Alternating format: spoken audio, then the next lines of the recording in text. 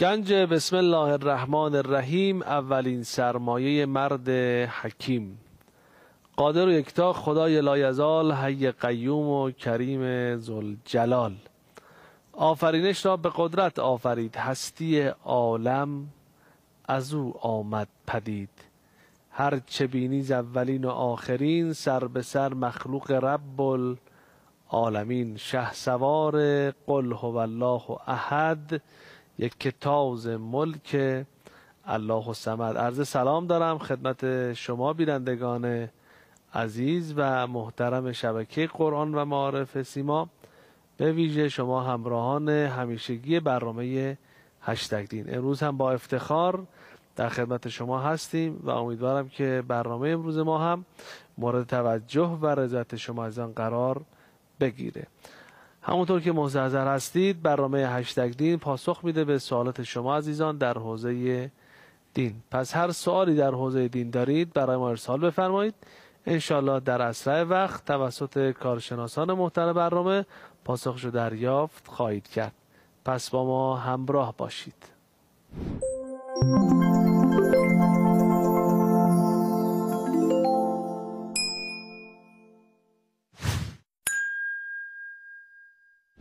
به سرعت میریم سراغ سوالاتی که شما عزیزان برای ما ارسال فرمودید. نوشتن که سلام علیکم و سلام ممنونم از برنامه خوبتون. ما هم ممنونیم از شما بینندگان عزیز و محترم. اولین سوال سوال فقهی احکامی است. این گونه سوال کردند. کار کردن برای کسی که خمس مالش رو پرداخت نمی‌کنه چه حکمی داره؟ آیا حقوقی که از این شخص می‌گیریم درسته یا نه؟ پاسخ این سوال رو با هم ببینیم و بشنویم.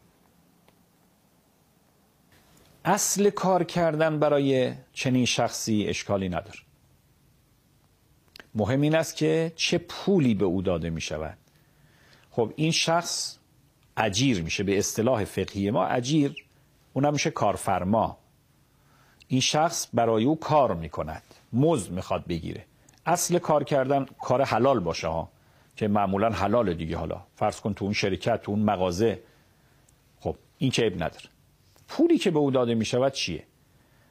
اگر اون پولی که به او داده می شود پولی بوده که شما یقین دارید این پول مونده بوده برای اون کارفرما سالم به اون گذشته بوده خمسم بهش تعلق گرفته است. خمسم نداده به شما داره میده. خب یک پنجم این رو شما مالک نمیشید. مشکل داره. چند تا قید داره ها؟ این پول سال بش خورده. پس بنابراین ممکنه از پولی داره حقوق شما رو میده که همون بین سال داره به شما میده. سال بش نخورده. خمس نداره. دو سال بش خورده باشه. متعلق خمس باشه. ممکنه از پول ارث داره به شما میده. اونم خمس نداره ولو سال بش خورده باشه. متعلق خمس باشه.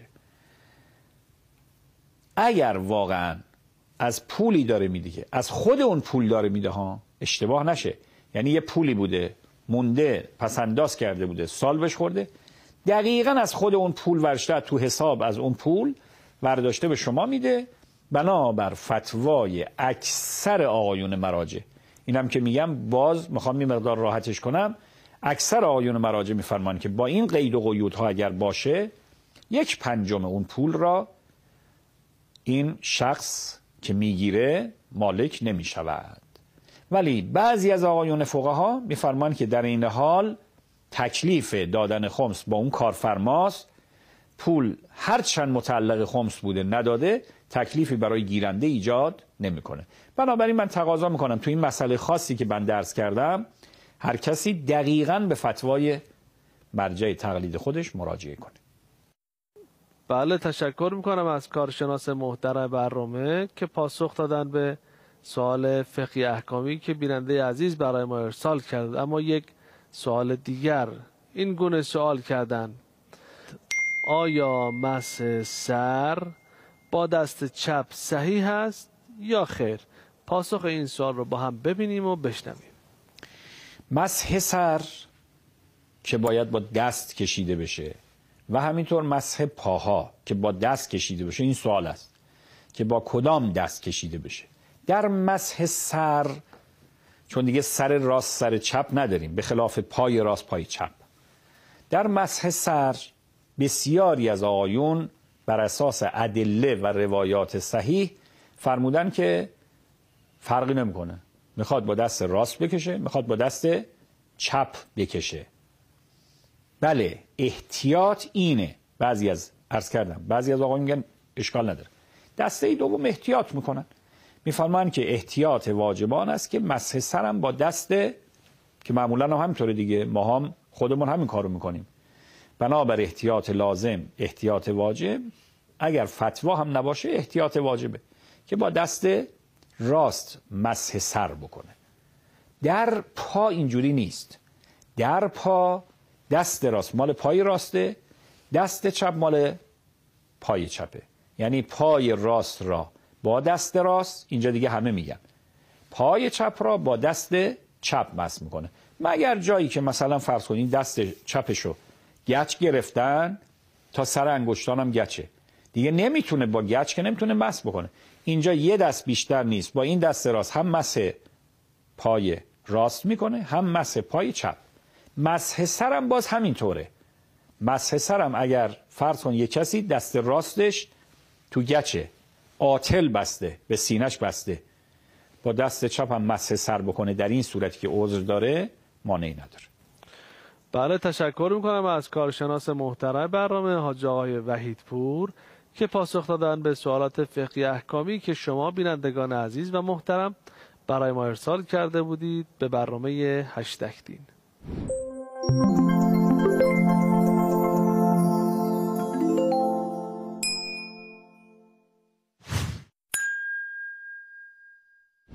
برنامه هشتگ دین رو مشاهده میفرمایید کاری از گروه اطلاع رسانی شبکه قرآن و معارف سیما که همه روزه همین حوالی تقدیم نگاه مهربون شما عزیزان میشه. اما سوالات عقایدی که شما عزیزان برای ما ارسال کردید این گونه سوال کردند آیا صحت داره کودکانی که از دنیا میرن جایگاه نیکویی برای پدر و مادر در بهشت مهیا می‌کنند پاسخ این سال رو با هم ببینیم و بشنویم. مسئله آخرت کودکان نابالغ کودکانی که به سن تکلیف نرسیدن. یک مسئله که توی علم عقاید و علم کلام بهش پرداخته شده.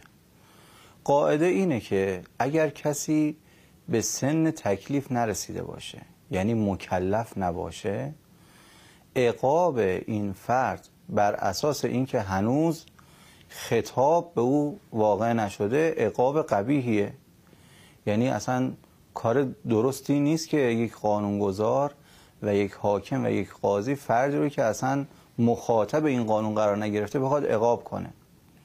بر همین اساس در فضای امامیه در فضای شیعه اصلا عقاب کودکان نابالغ رو از طرف خداوند قبیح می‌دونن حتی کودکان کفار رو. و میگن اینها به جهنم نمیرن چون خطاب قرار نگرفتن محل خطاب نبودن در مورد تکالیف الهی. در آیات قرآن ما اشاره هایی داریم به اینکه کودکان مؤمنان به مؤمنان ملحق میشن تا مایه شادی دل مؤمنان بشن. خب کسی که فرزندش از دست داده باشه در دنیا گرفتار ناراحتی میشه اذیت میشه. در اون دنیا به جهت شادی دل مؤمنان کودکانشون بهشون ملحق میشن. در خصوص کودکان کفار هم روایاتی داریم که بیانگر این هستن که اینها هم تحت تعلیم و آموزش قرار می‌گیرند و امتحان میشن. اگر از امتحان سربلند بیرون اومدن اونها هم ملحق میشن به بهشتیان و الا بر اساس نتیجه امتحانشون که بر اساس یک فهم و تکلیف محوری باشه با اونها برخورد میشه. به هر حال در خصوص کودکان مؤمنان روایاتی هست که تحت تعلیم تعالیم حضرت ابراهیم علیه السلام یا حضرت فاطمه زهرا سلام الله علیها قرار می‌گیرن و بعدا به والدین خودشون ملحق میشن و کودکان کفار هم یا اصلا عقاب نمیشن یا بر اصل بعضی از روایات مبتنی بر امتحان در جهان آخرت در یک فضایی فضای امتحان قرار می‌گیره و در مورد اونها تصمیم گیری میشه. به هر حال کودکان با نگاه کلی از اهالی بهش یا لاعقل از اهالی اعراف هستن و اهل عذاب نیستن. حالا اینکه به پدر و مادرشون ملحق بشن یا زمینه شفاعت بشن و اینها بستگی داره به اون اعمال والدینشون که از اهل ایمان و از اهل بهش باشن بتونن به هم دیگه ملحق بشن یا خیر. بله تشکر می‌کنم از کارشناس محترم برنامه حاج آقای کاشیزاده که پاسخ دادن به سوالات عقادی که شما بینندگان عزیز و محترم برای ما ارسال کرده بودید به برنامه هشتگ دین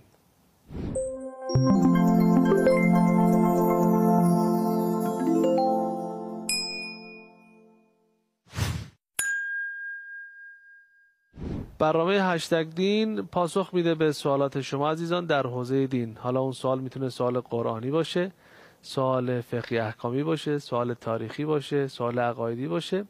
هر آنچه که فکر می‌کنید به حوزه دین مربوط میشه برای ما ارسال کنید. انشاءالله در اسرع وقت پاسخشو دریافت خواهید کرد. اما سوالات قرآنی که شما عزیزان برای ما ارسال فرمودید این گونه سوال کردند. در آیه 15 سوره ماعده مخاطب آیه دقیقا چه کسانی هستند که در صدد مخفی کردن بخشی از کتاب بودند؟ پاسخ این سال رو با هم ببینیم و بشنویم. آیه 15 از سوره مبارکه مائده فرماد یا اهل الکتاب قد جاءکم رسولنا یبین لکم کثیرا مما کنتم تخفون من الکتاب و یعفو عن کثیر. سوال کردن که خطاب این آیه چه کسی است؟ تمام اهل کتابه. تمام اهل کتاب چون حقایق برای تمام اهل کتاب آشکار شد و اونها مخفی کردن. پیامبر خاتم رو همه می‌دانستند و اونها مخفی کردند قوم اوس و خزرج که اینها با هم پسر امو بودن چون در کتابشون خونده بودن که پیامبر خاتم در مدینه حکومت تشکیل خواهد داد از صدها سال قبل خودشون رو به مدینه رسوندن و اونجا زندگیشون رو آغاز کردن تا اینکه پیامبر خاتم رو ببینن.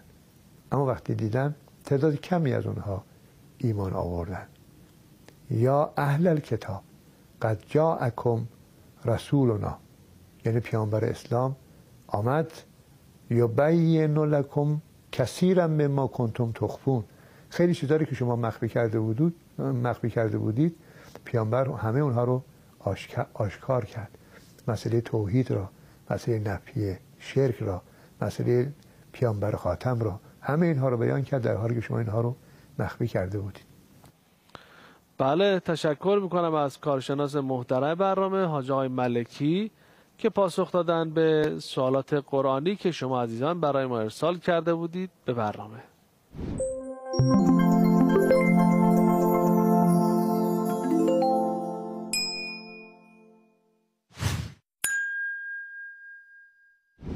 شما بینندگان عزیز و محترم برای اینکه سوالاتتون رو برای ما مطرح کنید و ارسال کنید باید زحمت بکشید.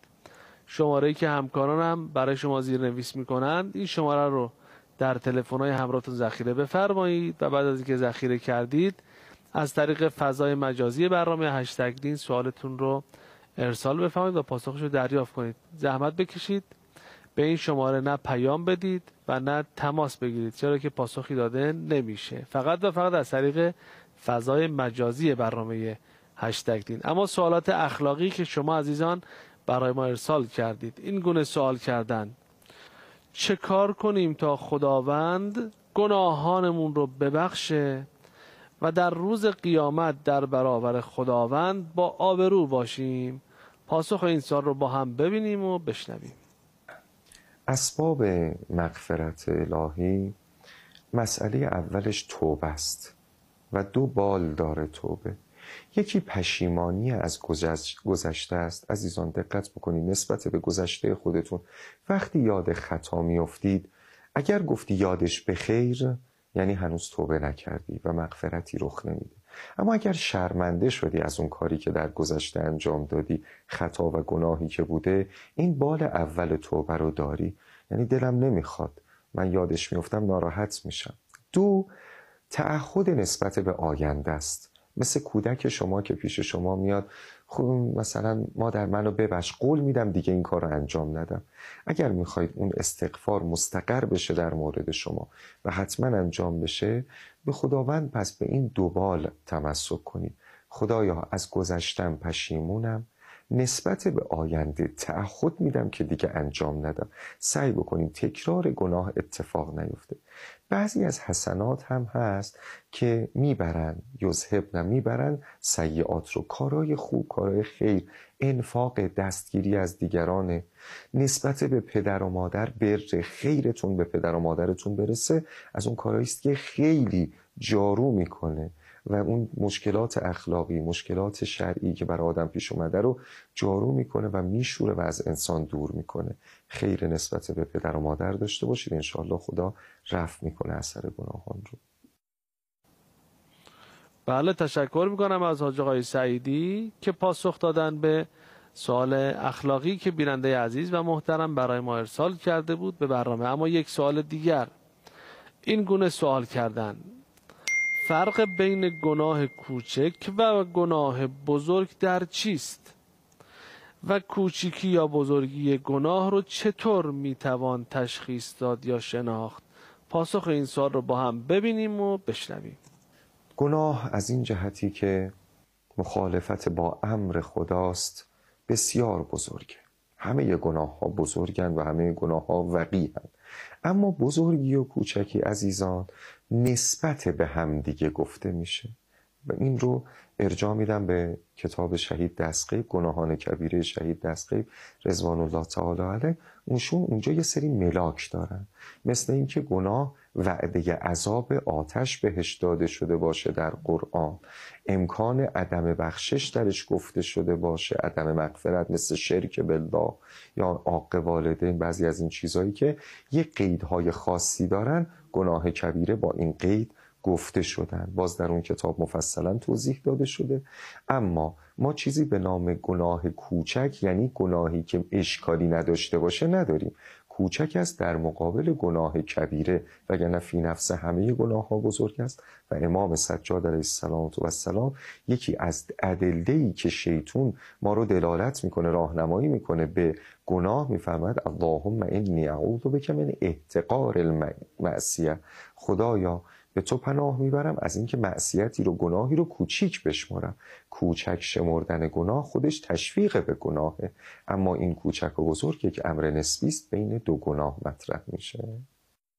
تشکر می‌کنم از کارشناس محترم برنامه حاج آقای سعیدی و البته از جمعی کارشناسان محترم برنامه که پاسخ دادن به سوالاتی که شما عزیزان برای ما ارسال کرده بودید به برنامه هشتگ دین. گفت اگر شادی اگر غمگین خدای را ستایش کن که هر دم بهترین ها را عطایت می کند حتما. از خالق هستی بهترین ها رو برای شما آرزومندم. تا دیداری دوباره دست نگهدارتون باشه یا علی.